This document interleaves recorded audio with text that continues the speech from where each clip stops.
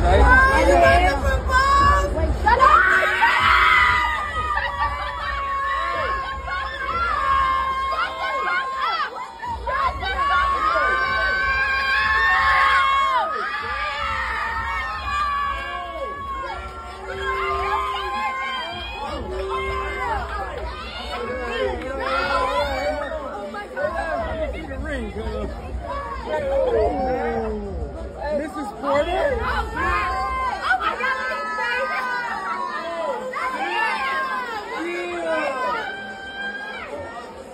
Hey guys, so I literally just woke up to this news, and before I get called as this really jealous and bitter blogger, I just want to congratulate both.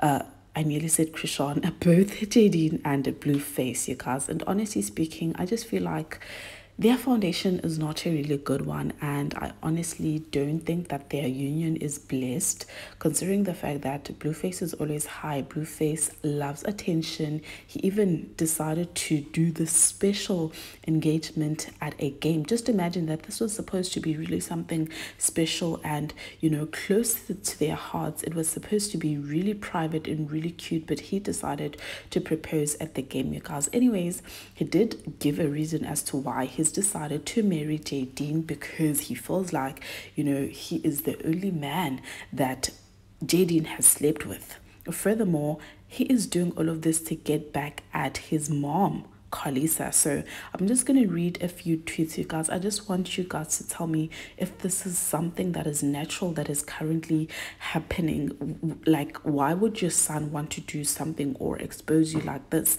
So he says, I got somebody who ain't never been with nobody else.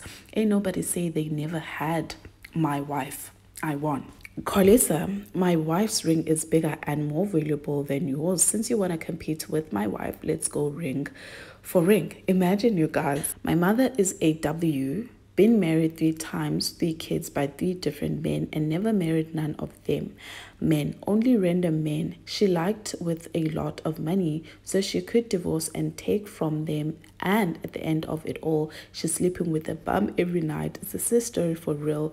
That could I could never respect her as a woman. Uh, he further went on to say, "Post your ring, and I'ma post mine. You wanna compare booties, right, Karlissa? Let's compare rings. Let's see what type of ring that old booty got, and what type of ring the new booty got. My wife." Gonna always win. Karlissa married a bum after all these D's she took. She settled for that little S ring. My wife had one D her entire life and bled your whole life, clown. So basically, it's a competition, okay? And like I said, I also feel like he's doing all of this to get back at Chrisean. But nonetheless, congratulations to them, you guys. What are your thoughts? Please let's engage down on the comments, and I will see you on the next. Bye.